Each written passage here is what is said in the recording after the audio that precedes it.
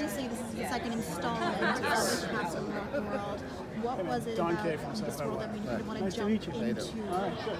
the Stephen King universe? Pop Merrill. I, I mean, it, like it's a daunting thing because the world is so massive and so, you know, so Yeah, exciting. But the, the cool thing about about this coming into this character was the, coming back to you know, he wasn't, part of the my character wasn't originally in the Stephen King uh, world, so you'll see I got the him as a new character that's just really trying to keep the community together. I like Uh, the you'll- of see playing him someone really, you know, connected to his someone I haven't family, and so his intentions are good. You'll just kind of see where, you know, that leads him. Well, and he's really in the middle of this kind of There's a war. yeah, it's a big war. Yeah, is he handling kind of his kind of dueling uh, loyalties?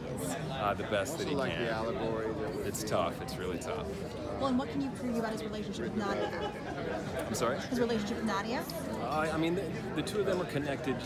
You know, uh, Nadia was adopted, you know, at a young age, so you'll see the two of them, It's something you I know, don't with think a we with a got into history, you know, of, of really, you know, dealing with things together, and, and the first season. So uh, I think the two of them connected at a pretty young age, you know, early on. You know, their ideals are somewhat, you know, the same, and their attitudes are similar. So you'll see them, yeah, definitely connect.